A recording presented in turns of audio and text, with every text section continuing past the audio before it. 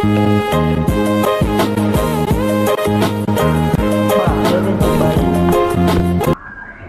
នឹងសិក្សាអំពី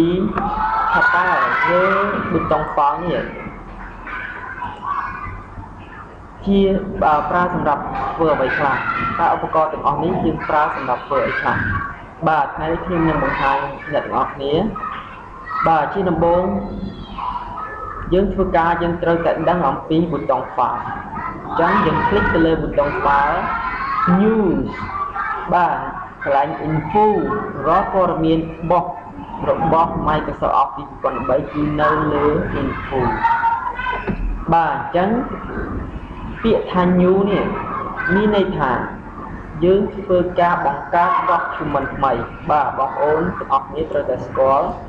នៅក្នុង Microsoft Word 2013ក៏ដោយ2010 2003 2007ក៏ដោយ គេហៅថា document กระดาษសនេះគេហៅថា document ប៉ុន្តែនៅលើ Microsoft Office នៅ Excel 2003រហូតដល់13គេហៅថា worksheet បាទអញ្ចឹងបងប្អូនកុំច្រឡំ document អញ្ចឹងដើម្បីបង្កើត document ថ្មីដើម្បីបង្កើតឯកសារថ្មី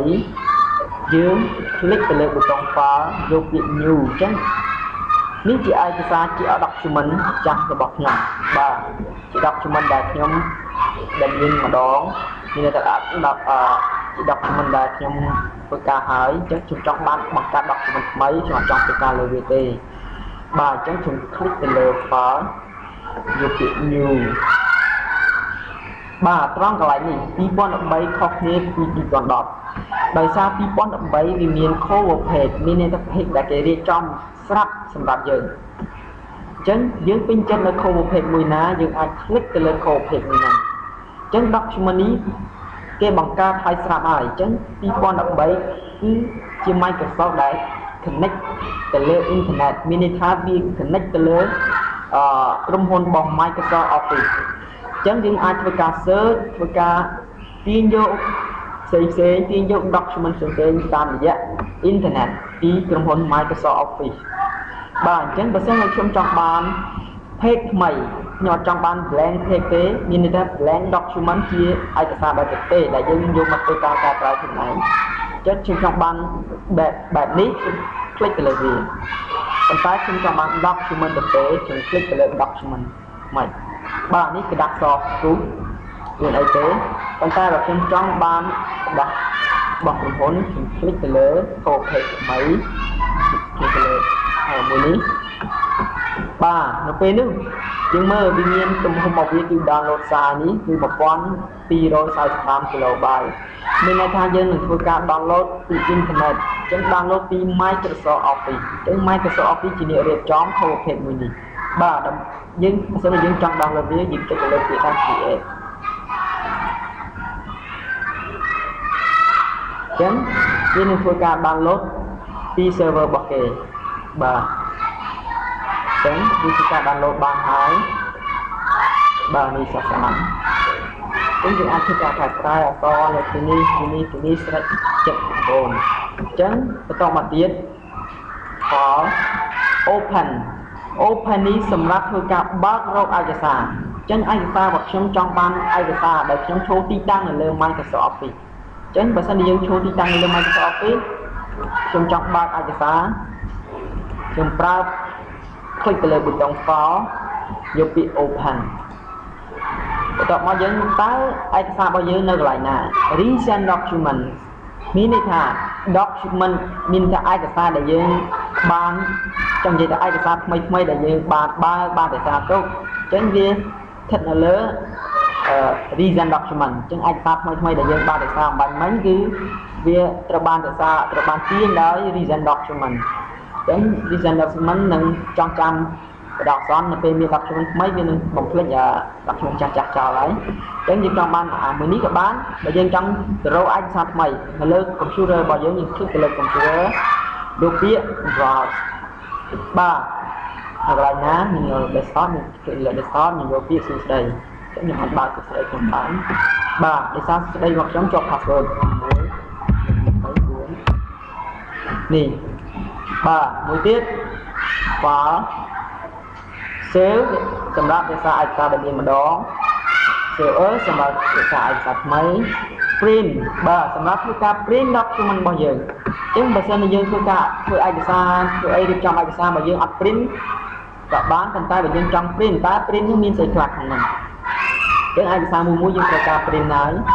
បាទ print នេះគឺសំខាន់ណាស់សម្រាប់ទាញនៅអឺឯកសារទាំងឡាយ information ចេញមកក្រៅបាទចេញមកគេហៅថា information អញ្ចឹងយើងធ្វើការ print ធ្វើទៅលើ print ត្រង់កន្លែងនេះ កន្លែងពាក្យថា print មានន័យថាកាលណាយើងចប់រួចរាល់អស់ហើយយើងចុចទៅលើប៊ូតុង print ប៉ុន្តែកន្លែង copy មានន័យថាចំនួនกระดาษដែលយើងចង់ print នេះចង់ print ចេញមកក្រៅហ្នឹងប្រហែលសន្លឹកបើយើងដាក់1គឺ1សន្លឹក2គឺ2សន្លឹក3គឺ3សន្លឹកបាទបន្តមកទៀត printer អញ្ចឹងប្រភេទនៃម៉ាស៊ីន print របស់យើងជាប្រភេទអីដោយសារខ្ញុំអត់មានម៉ាស៊ីន print ទេអញ្ ចឹងបើសិនតែខ្ញុំคลิกទៅលើម៉ាស៊ីន print មួយណាប្រភេទនេះមិនមែនជាម៉ាស៊ីន print ទេដោយសារវាជា default របស់កំពុងមកស្រាប់បាទជាម៉ាស៊ីន fax ម៉ា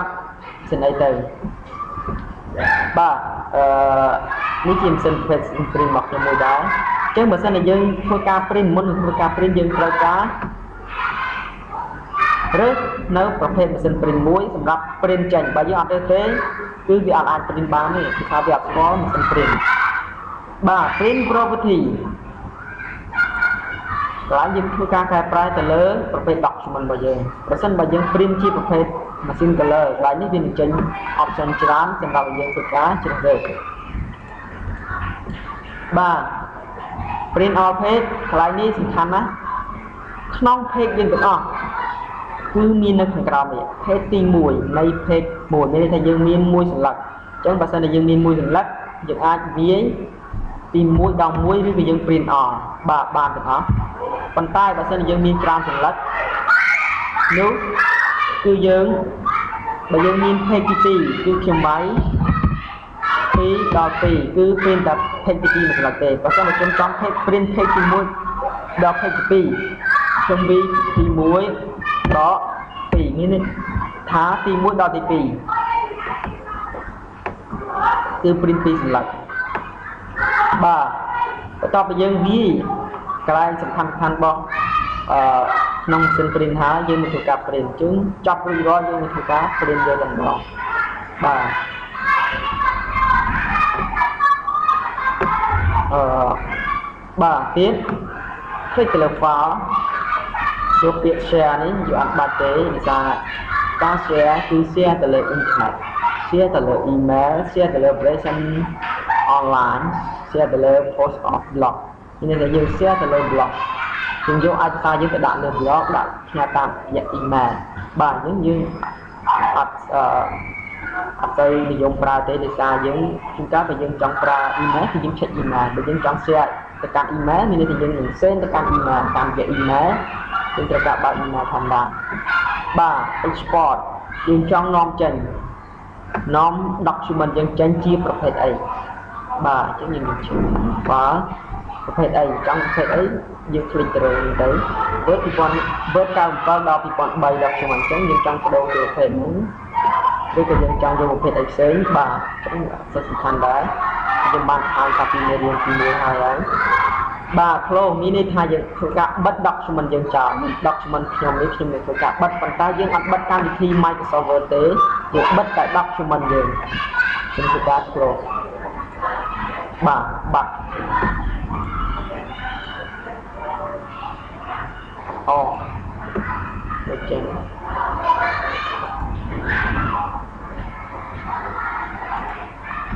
ធ្វើម្ដងទៀត